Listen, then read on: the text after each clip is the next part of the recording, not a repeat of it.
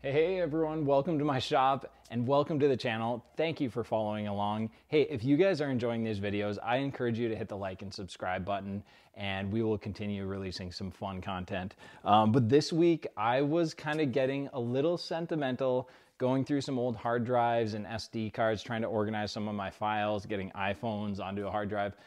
Anyway, and I came across this SD card that had a folder labeled Bikes I Built and literally had almost all the bikes I had ever ridden or owned or raced um, from when I was a kid into my adulthood. And I thought this might be kind of a cool opportunity to tell my personal story of my cycling journey from uh, when I was just a kid up till now. And I would consider myself an average American cycling enthusiast.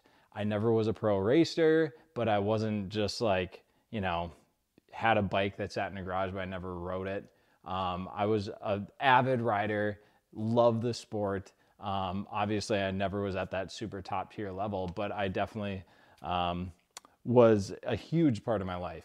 And now, today, a giant part of my bike collection are kids' bikes again. And it's kind of funny how things go full circle. And I'm realizing how I am probably at the best part of my cycling phase where I get to witness my kids learning how to bike and grow a love and passion for what I believe is one of the greatest sports and adventure sports out there, um, and where they're able to experience freedom and creativity on their bikes to just get out and explore nature and the outdoors. And it's a really empowering thing. And I just love that I'm able to now witness my kids learning how to get into that. And it's pretty cool. So I hope you have some fun as we go back to some hilarious times in uh, the world of cycling through my eyes.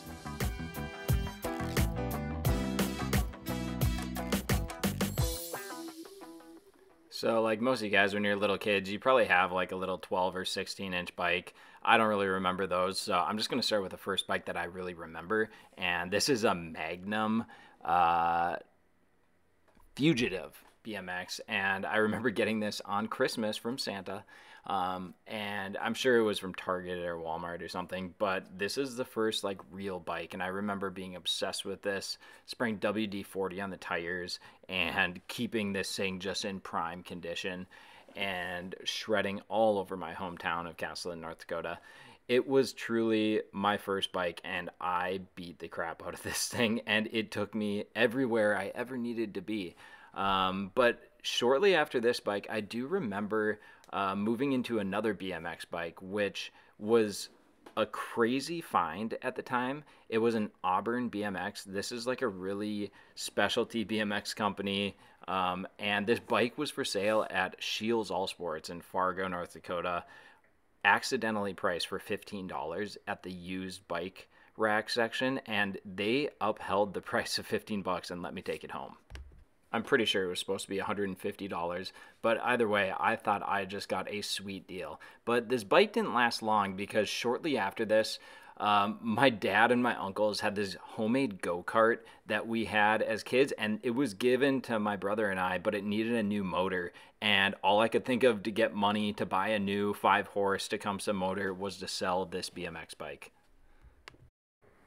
And this was a bittersweet moment, but it brought me to the next stage in my cycling life, which was mountain biking. I got bit by the mountain bike bug pretty early, and I was super stoked when I saved up enough money to buy this Raleigh M80 from Bikes Unlimited in Fargo. Sorry to say they are no longer a store, but I mowed lawns, mowed the church lawns, lemonade stands, selling cookies, did everything I could. I even sold the motor off of our go kart that we sadly did wreck in a ditch um, to buy this bike for 549 bucks and it was the best purchase of my life at the time. And really, I got inspired to buy a mountain bike when my best friend Joey, his dad, like two summers in a row, took us to Lutsen Ski Resort in Minnesota up on the North Shore.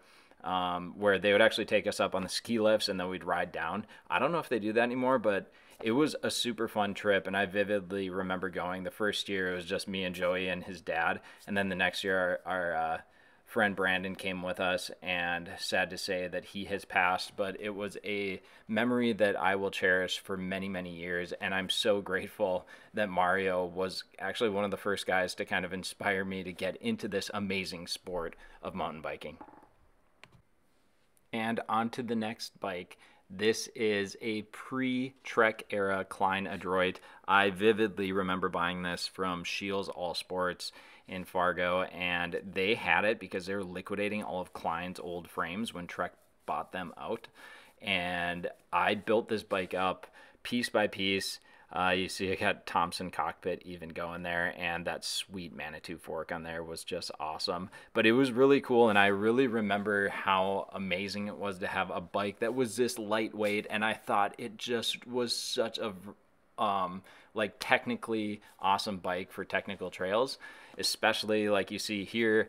Uh, one of my first races at Laddie's Loppet in Maplelag, Callaway, Minnesota. Um, they've been putting this race on for decades. Uh, the Richards family owns a resort. It's a Nordic ski resort, but they have amazing mountain bike trails in the summer and some of the most technical trails in the world. They've even held UCI races here, so it's a really uh, cherished place in my heart, and it's only about 45 minutes from my house, so even better. But that bike was just absolutely awesome. Now, I rode that Klein for a couple seasons in high school, and then um, I must have been maybe 17 when I bought a Salsa Ala Carte steel hardtail frame.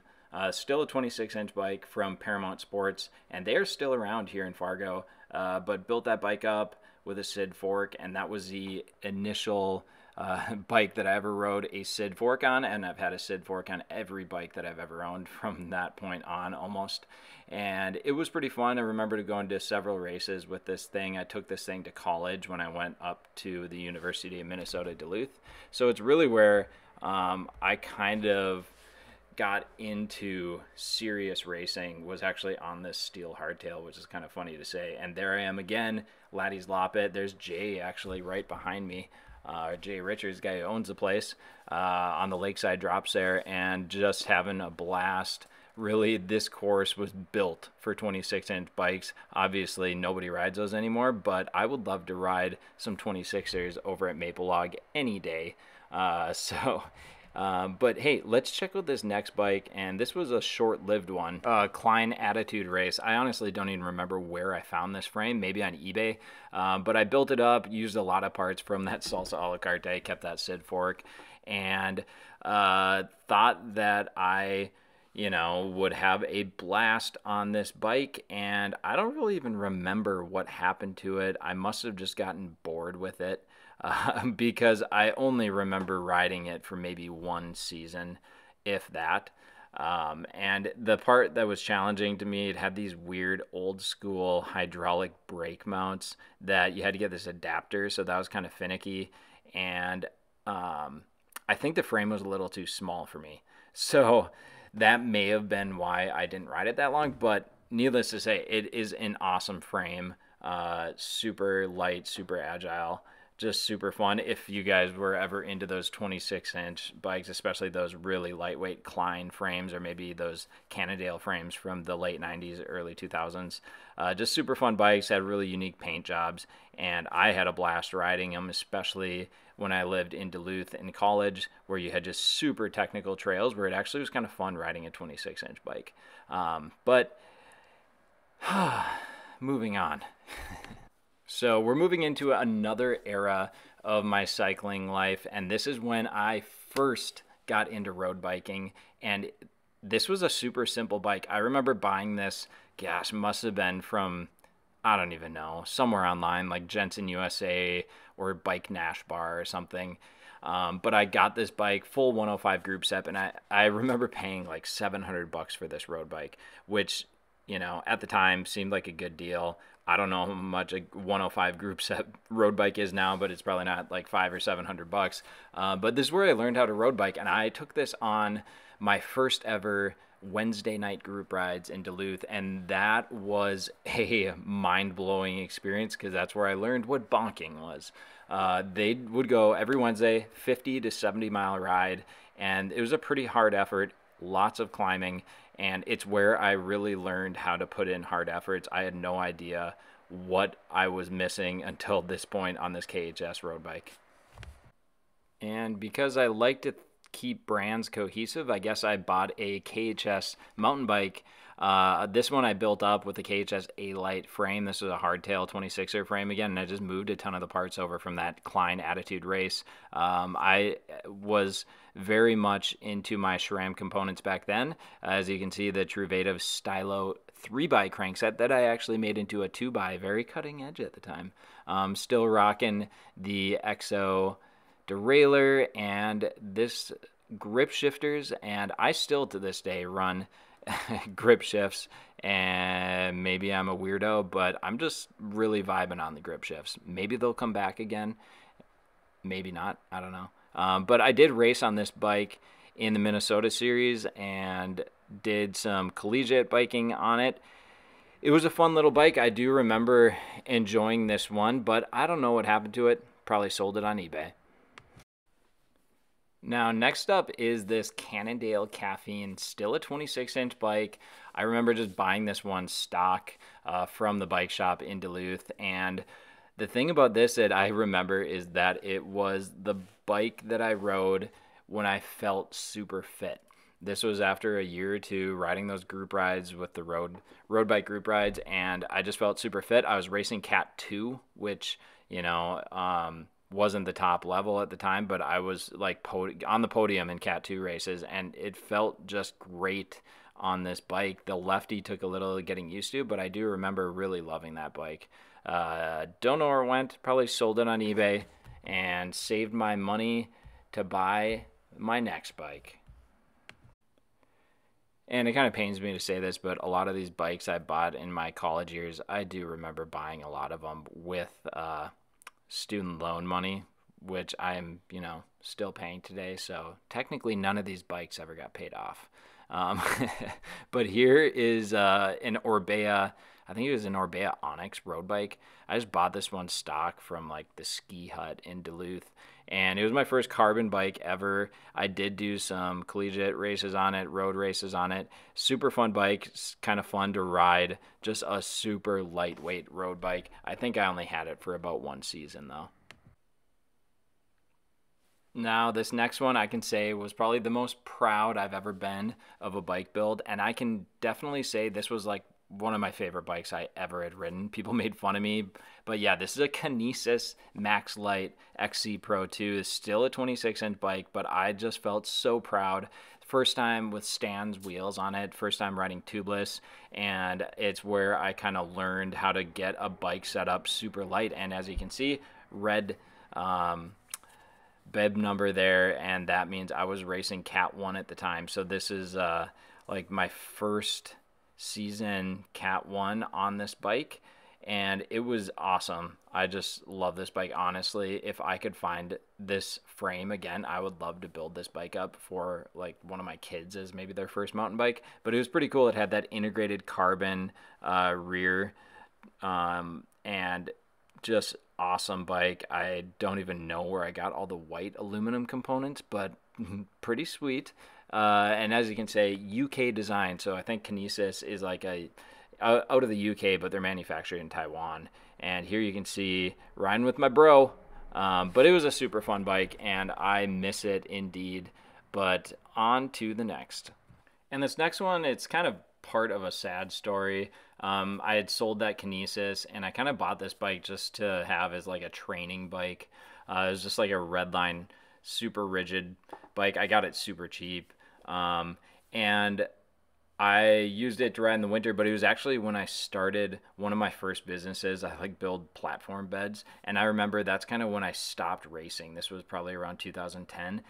I was not racing, and I just had this bike as kind of a bump around bike when I had time to get out on the trails. But thinking about this time kind of makes me a little sad because it was when I stopped racing. I do remember not biking much at the time, you know, starting this new venture. And I was so distracted putting all my energy into that venture that I didn't have time to ride. And I think it was almost two years until I finally got back into cycling uh, through some mental struggles and moving back home to North Dakota. And when I did that, uh, my I bought a new bike from I think Continental Ski and Bike in Duluth, and I honestly do not remember this bike barely at all, except for the fact that it did not fit me. It was a large in a Cannondale, and I don't know why. I just felt super stretched out. And I think I did like two races on it in 2012, but it was my first time back racing. I was, after almost two years, I was not in good fitness, and I remember just bonking hard, and I was probably so out of shape that I blamed that on this bike when it was really just my fitness. Um, but I don't remember riding this thing much. It I literally probably owned it for a few months before I sold it, and I moved down into a smaller frame size in one of my favorite bikes I have ever owned, and that is this beauty right here, a giant XTC 29er. Uh, this was an alloy frame, but just an amazing bike, and I have a lot of memories on this thing. But you know, one of the things that it also reminds me is that I think that I actually had a lot of bikes in between some of these bikes that I'm showing you guys that were just like really short term, like what I call winter bikes. I used to buy like bikes just to ride in the off season that I could kind of beat around. And unfortunately, I don't have a lot of photos of those because those were like cheaper ones. But let's get back to this thing. So this giant XTC 29er, it was my first 29er that I like rode a lot on and it was just so much fun and it's when i i had really good fitness. Um, this was 2012 going into 2013 and i kind of had discovered endurance riding like doing more marathon races doing 50 to 100 milers. Um, and i had the chance to race in my very first 100 mile mountain bike race and it was the Maah Daah Hey 100 um, here you see me uh, cruising in the badlands in north dakota and it was a life changing experience, I have to say. It was the first year they did the Maah Daah Hey 100, and I had a blast. Um, my dad was there to support me. Uh, it was just a really cool experience. I literally remember like hallucinating during that race. Uh, it was just crazy, like a little under 12 hours to finish that thing, uh, 15,000 vertical feet of climbing. And I think it kind of inspired me to see how far I could push my cycling fitness. And after 2012, you know, this was my first year back into it after a couple years. And now um, I had a full year under my belt, and I'm like, hey, 2013, let's go all out. And I really wanted to commit to seeing how fast I could get that year. And it also led me to think about, okay, well, what kind of equipment am I going to get? And it was the first year I actively searched for a sponsor. And this bike here is a Gramo uh, Toa 29er. It was a little company out of like Oregon. For a short period of time, they tried to do these bikes. I think they're getting the frames from Taiwan or China. And I got hooked up with this bike for like next to nothing. And the cool thing was, it was the first year of SRAM XX1. And you can see there, I got the 1x11 drivetrain. It was really an amazing bike. And I went to some really cool races on this thing that year. It was just an awesome year. Uh, the sad part is that 2013 was also my last cycling season uh, until you know I started back up almost 11 years later. Um, but it was it kind of came to a sad end. I finished the season doing the Lutsen 99er, and I dropped out halfway trying to stay with the lead pack and bonked, dropped out, and then did the Maah Daah Hey for the second time. I tried to get a sub 10 hour time and it ended up dropping out at mile 80. And I just was having some really you know, hard mental struggles because I was also starting my business at that same time. And I was a super overwhelmed trying to start this business and trying to ride bike. And you guys kind of know like how hard it is to balance life, but that was a really hard time for me and now 10, 11 years later, I'm like, well, I want to get back in, into it for the right reasons.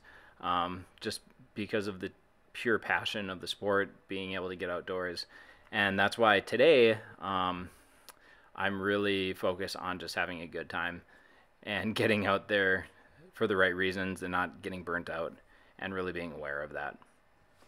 So, for the most part, I almost went 10 years without actively cycling, but there's a few times got out, just have a fun time, like hanging out with my brother, going to find wild hemp out in the grasslands.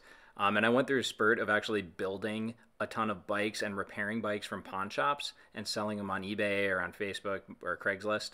Um, it was kind of just a way to kill the time and still be involved in the hobby, even though I wasn't really actively cycling. So these are like one of many. I mean, I probably bought and sold 20 or 30 different bikes during this time where I would just flip them basically and sell them on, on Craigslist for a profit. Um, but there's many, many more. Obviously, there's just kind of a handful of these. I wouldn't consider them my bikes because I didn't really ride them.